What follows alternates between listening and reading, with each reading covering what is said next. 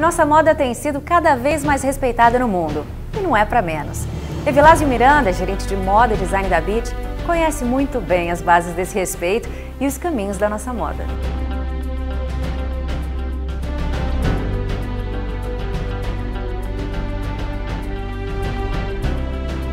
Eu acredito que, um, como em qualquer segmento hoje em dia, é, em que a gente tem cada vez menos intermediários entre uma indústria, uma empresa e o consumidor final, para ser bem sucedido, empreendedor de moda tem que ter uma visão muito clara para quem ele está trabalhando, quem é, quem é esse cliente final, quais são as necessidades desse cliente e que problema ele está resolvendo para esse cliente, no sentido de que, uh, que o que, que, esse cliente ainda não tem, o que, que o mercado ainda não oferece para esse consumidor uh, e que essa marca de moda, que esse empreendimento de moda vai passar a oferecer, né? Uh, seja em termos de produto, seja em termos de distribuição, uh, de comunicação.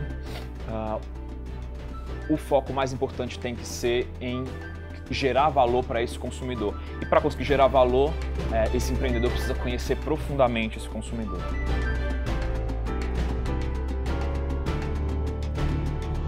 Existem diversas formas e cada vez mais a gente se depara com novos, novas formas de promoção o mercado da moda, eu, eu vejo como se um, se um gigante tivesse pisado no, no, no, mercado da moda, a poeira tivesse subido e a gente ainda está esperando essa poeira baixar, mas existe muita coisa que a gente pode pegar ainda no ar. Não só no mercado da moda, mas em todas as, todas as indústrias, a gente tem visto uma série de novos formatos, novos modelos de negócio surgindo. E cada vez que um, que a criatividade do empreendedor uh, uh, transforma um setor ou cria um novo modelo de negócio, a gente se depara com um formato totalmente novo e também de promoção internacional.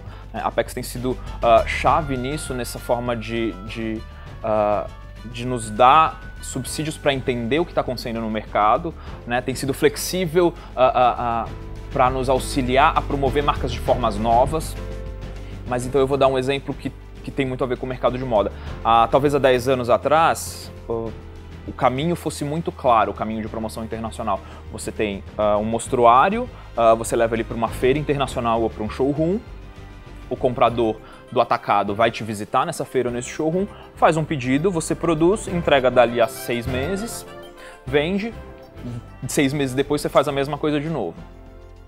Hoje, uma marca a gente já, já teve projetos, por exemplo, de uma marca que não tem uh, uh, nenhum interesse de fazer uh, venda em atacado.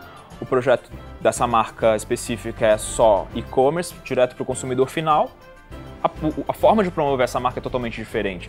Então, a gente trabalhou estratégias de growth hacking para essa marca, de uh, uh, conseguir mailing, de como uh, se aproveitar do conteúdo do site para trazer mais visitantes através de buscas orgânicas. A gente contratou uma consultoria para fazer esse trabalho. Então, uh, a cada dia a gente descobre formas novas de promover as marcas internacionalmente. Então, hoje é muito mais difícil do que há 10 anos atrás dar uma receita uh, de um passo a passo.